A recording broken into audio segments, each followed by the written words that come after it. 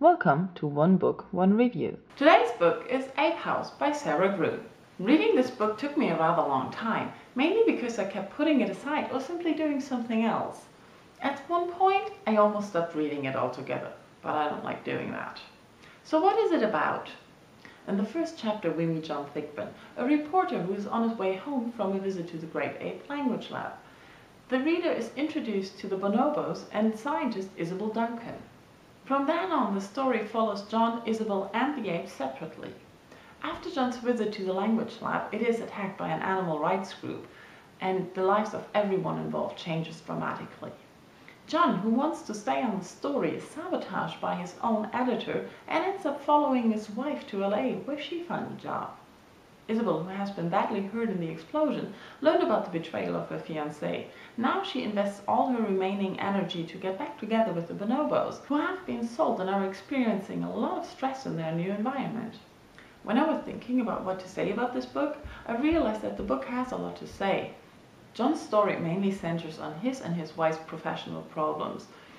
They are both not where they want to be professionally and end up selling out before regaining their integrity.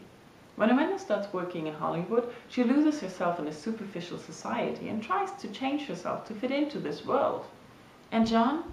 He finds himself first researching trivial articles and then working for a tabloid. I think this is one of the stronger points of the novel, how John and Amanda do things they clearly object to, to further their careers or rather to keep their jobs. Unfortunately, John's story is also overshadowed by his mother-in-law and Amanda's wish to have children. He also seems to be distracted by his own thoughts of other women, making the reader expect some kind of adultery, although he is obviously devoted to his wife. Isabel Duncan's story focuses on her healing process and her trial to reconnect with the bonobos. She has to deal with a lot of physical and mental healing, as well as her fear for her own life and that of the apes. The reader perceives her powerless against the corporate world exploiting animals. Her story is similar to that of the great apes, who find themselves also at the mercy of an unknown stranger, not knowing where they are going and what is happening to them. All this sounds like a promising read, but I'm sorry to say Ape House isn't.